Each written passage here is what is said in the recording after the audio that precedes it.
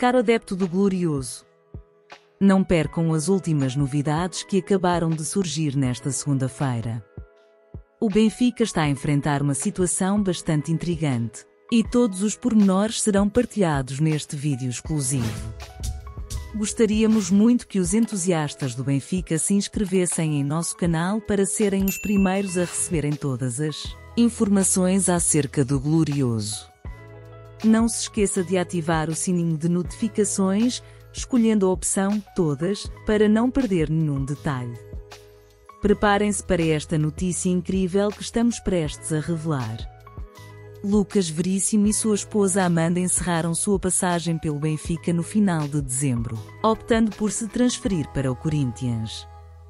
No entanto, o defesa central acabou por assinar contrato com o Alduel no Catar, o que gerou um conflito no cenário desportivo brasileiro.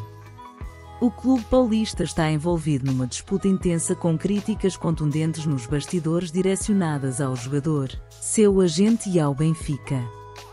Até mesmo Augusto Melo, presidente do Corinthians, não escapou das críticas, conforme relato do jornal Oi.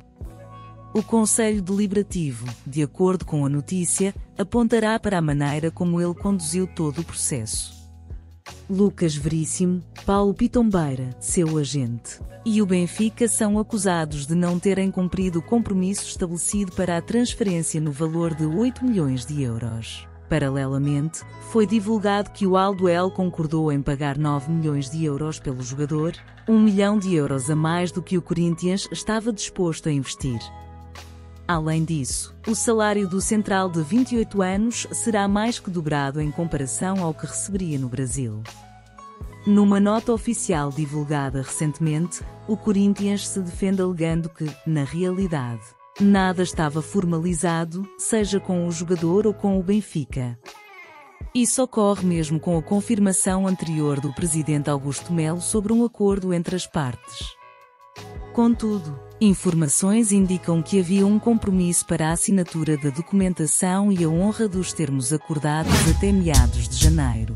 O não cumprimento por parte do clube paulista causou desconforto tanto no Benfica quanto no jogador, levando a situação ao ponto atual, a transferência para o Alduel.